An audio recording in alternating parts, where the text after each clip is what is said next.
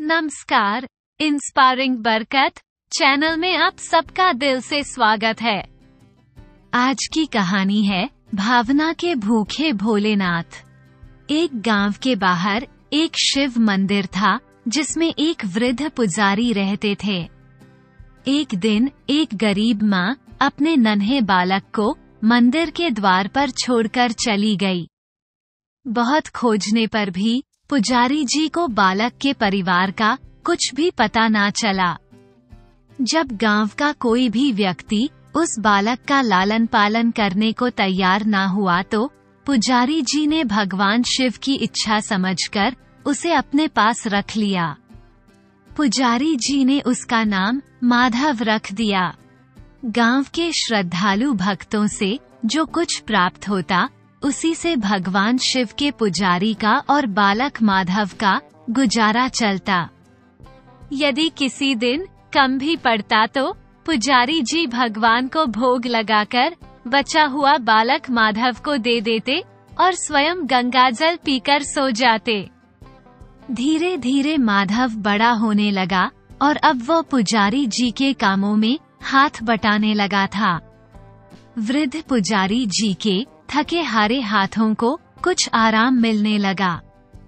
इसलिए उन्होंने माधव को मंदिर की साफ़ सफ़ाई, भगवान शिव की पूजा, उनको भोग लगाने और उनकी आरती करने की विधि अच्छी प्रकार से समझा दी।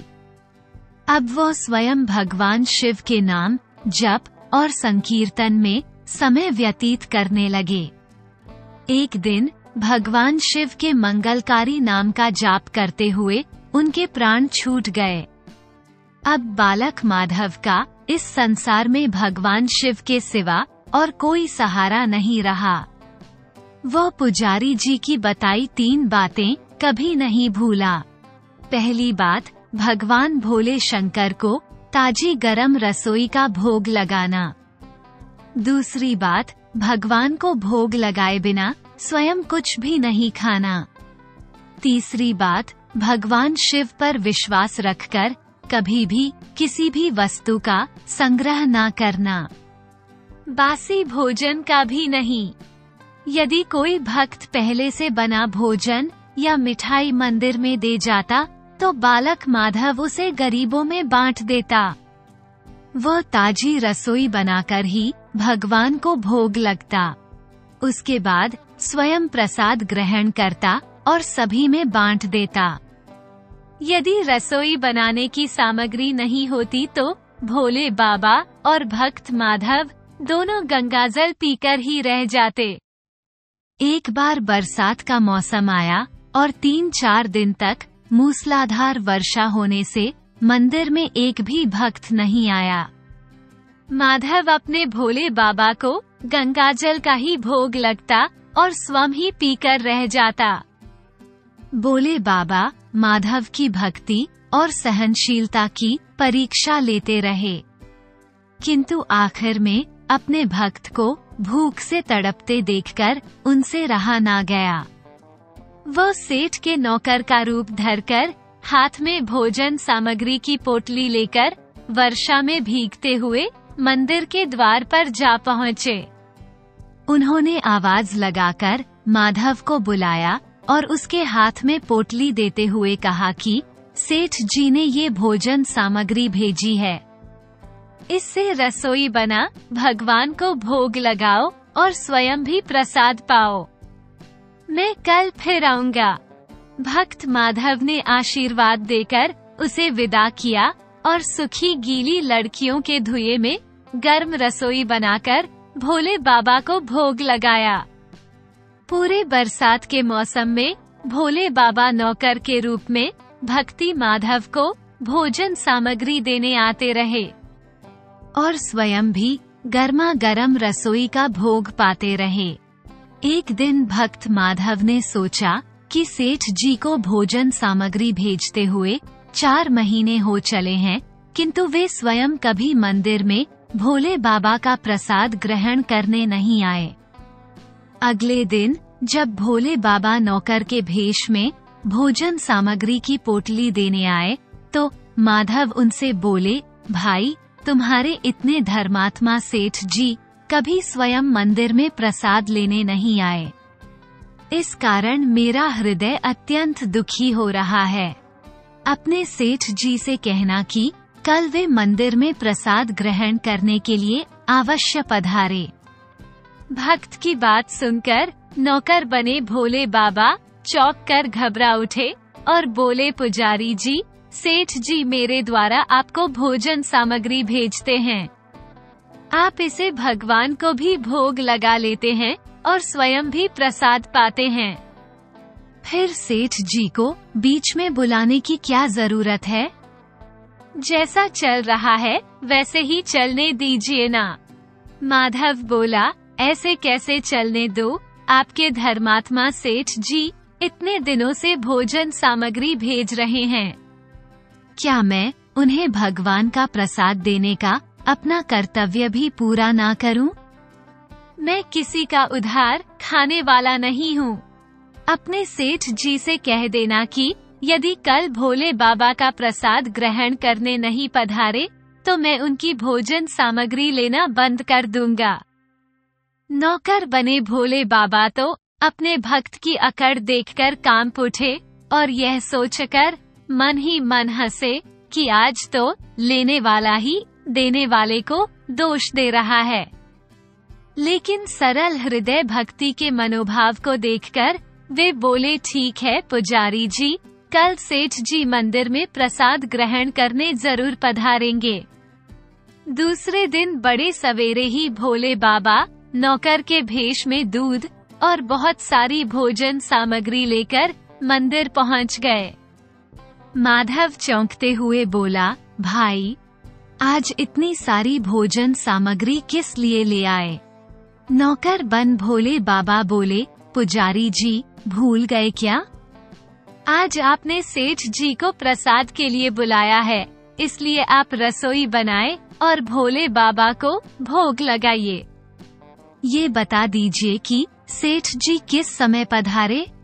माधव ने प्रसन्न होकर उन्हें सेठ जी के आने का समय बता दिया और भक्त माधव की इच्छा पूर्ण करने के लिए भोले बाबा कैलाश पर सेठ का रूप धारण करने लगे। इधर अपने स्वामी को एक प्यारे भक्ति के जहाँ दावत पर जाने का समाचार सुनकर ममतामयी, अन्नपूर्णा, माँ पार्वती भी भला कैसे पीछे रहती। वो भी पति की आज्ञा लेकर सेठानी का रूप धारण करने में जुट गई। भोले बाबा ने अपने गले से मंडों की माला उतार दी। शरीर पर लगी भागांबर और कानों में पहने सांप के हार भी उतार कर रख दिए। उन्होंने एक मखमल का कुर्ता धारण कर लिया।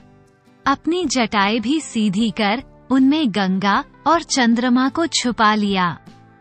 एक सुंदर सी रंग बिरंगी पगड़ी पहन ली। हाथ का त्रिशूल और डमरू भोले बाबा ने नंदी के हाथ में थमा दिया। पार्वती जी के तैयार होने की प्रतीक्षा करते हुए कैलाश पर चहल कदमी करने लगे। पार्वती जी ने सुंदर बनारसी साड़ी पहनी, जिसका रंग सेठ बने शिव जी के कुर्ते से मेल खा रहा था। सोने चांदी और हीरे के जगमगाते हुए आभूषण धारण किए। भगवान गौरी शंकर सेठ सेठानी का रूप धारण कर कैलाश से अपने भक्त के जहाँ दावत के लिए चल पड़े। भक्त माधव आज सुबह से ही सेठ जी के स्वागत में तरह तरह के पकवान बनाने में जुटा हुआ था। वह अपने भोले बाबा का भोग तो चलते फिरते बना लेता था, किंतु आज उसे कई महीनों से भगवान को भोग लगाने के लिए भोजन सामग्री भेजने वाले सेठ जी को प्रसाद देना था। अतः आज उसने भोजन बनाने में अपनी सारी कला झोंक डाली थी। उसने सेठ जी द्वारा भेजे हुए चावल धोकर खीर बनाई और तरह तरह के पकवान भी बनाए। रसोई बनाकर भक्त माधव पुनः स्नान करने चला गया ताकि स्वच्छ वस्त्र पहनकर भोले बाबा को भोग लगा सके और सेठ जी को उनका प्रसाद खिला सके। जब भक्त माधव स्नान करके लौटा तो देखा सेठ जी प्रसाद ग्रहण करने के लिए स्वयं तो आए ही हैं। साथ में अपनी सेठानी जी को भी ले आए हैं। माधव ने झट से दोनों से राम राम की। उन्हें आसन देकर बिठाया और बोला, मैं अभी भगवान को भोग लगा कर आता हूँ। फिर आपको प्रसाद परोसूँगा। भावना के भूखे भोले बाबा से भूख सहन नहीं हो पा रही थी। इसलिए वे बोले, पुजारी जी, भगवान को जल्दी से भोग लगाइए। मुझसे भूख सहन नहीं होती। माधव बोला, सेठ जी, भूख तो मुझे भी बड़े ज़ोर से लग रही है, किंतु मैं अपनी भूख के कारण भगवान को भोग लगाना नहीं भूलता। यदि दुनिया के सारे लोग इसी तरह अपनी भूख के लिए भगवान को भोग लगाना भूल जाएँ तो भगवान तो भूखे ही रह जाएँगे। सेठ जी बने भोले बाबा, एक पत्तल उठाते हुए बोले, पुजारी जी आप भोग लगाइए। इधर मैं पत्तल परोस लेता हूँ। मुझसे भूख सहन नहीं हो पा रही है। भक्त माधव सेठ जी बने भोले बाबा को डांटते हुए बोला, सेठ जी, भगवान के काम में ना तो जल्दबाजी चलती है, ना कंजूसी। मैं जब तक भगवान को भोग नहीं लगा लेता, आप रसोई के पास भी नहीं फटक सकते। इधर बैठ जाइए और ओम नमः शिवाय जपते रहिए। मैं अभी आता हूँ और आपको पेट भर भोजन करवाता हूँ। सेठ बन शिव जी डांट खाकर चुपचाप अपने आसन पर जा बैठे। सेठानी बनी पार्वती, उनकी ये दशा देखकर बड़ी मुश्किल से अपनी हँसी रोक पाई। लेकिन जैसे ही भक्त माधव पत्तल में सामग्री लेकर भगवान को भोग लगाने मंदिर में गया। भगवान शिव पार्वती जी को मौन रहने का संकेत करके चुपके चुपके पैर रखते हुए रसोई में पहुँच गए और उन्होंने एक एक व्यंजन उठाकर चखना शुरू कर दिया। भोले बाबा तो प्रसाद को देखते ही हैरान रह गए। खीर में चीनी की जगह नमक भरा हुआ था। सब्जियों में चीनी भरी हुई थी, जैसे ही बोले बाबा ने रोटी का एक टुकड़ा तोड़कर मुँह में डाला। वो शीशी करने लगे, क्योंकि रोटी में मिर्च ही मिर्च भरी थी। वे शीशी करते हुए उल्टे पैर भाग आए और अपने आसन पर जा बैठे। माँ पार्वती अपने स्वामी की यह हालत देखकर खिलखिलाकर हंस पड़ी। इससे पहले कि भोले बाबा पार्वती जी के सामने कुछ सफ़ाई दे पाते। भक्त माधव और ओम नवाय शिवाय मंत्र का जाप करते हुए रसोई में भोग मिलाकर उसे पवित्र बना डाला। फिर सेठ जी के सामने पत्तल परोसने के बाद हाथ जोड़कर बोला, सेठ जी अब आप भी जी भरकर प्रसाद ग्रहण करें। भोले बाबा तो अभी अभी भगत से भी नज़र बचाकर उसके हाथ की बनी हुई रसोई चख चुके थे। अतः भोजन करने की बात सुनकर उनके पसीने छूटने लगे। वे कभी माधव का तो कभी पार्वती का मुख देखने लगते। माधव को सेठ जी की ढील बर्दाश्त नहीं हुई और बोला सेठ जी, अब क्या हो गया आपको? अभी अभी तो इतने उतावले हो रहे थे। अब आप भोजन क्यों नहीं करते? तभी तो माता जी भी प्रसाद ग्रहण करेंगी और फिर मैं भी प्रसाद पाऊँगा। माधव की ललकार सुनकर भोले बाबा ने चुपचाप खीर का कुल्हड़ उठाया और सारी नमकीन खीर घटाघाट पी गए। कुल्हड़ खाली होने की देर थी कि माधव ने उसे झट से भर दिया। अपने प्रिय भक्त के हाथों से परोसे हुए भोग में भगवान को आज दोगुना स्वाद आ रहा था। माधव खीर प्रोसता गया और भोले बाबा पीते गए। माता पार्वती, भक्त और भगवान दोनों के प्रेम को देखकर मंत्रमुग्ध होती रही। जब सारी रसोई समाप्त हो गई तो भगवान ने एक ज़ोर की डकार ली। माधव को होश आया और वह बोला, वह सेठ जी, वह मैं ही बावला था जो इतनी थोड़ी सी रसोई बनाई। मुझे पता होता कि आपको प्रसाद ग्रहण करने का इतना शौक है तो मैं और ज़्यादा ही बनाता। भोले बाबा, अपने पेट पर हाथ फेरते हुए सेठानी बनी पार्वती जी की ओर देखकर मुस्कुराते हुए बोले, पुजारी जी, मैं इतना रोज कहाँ खाता हूँ? किंतु आज प्रसाद इतना स्वादिष्ट बना था कि अपने पर वश ही नहीं रहा और खाता ही चला गया।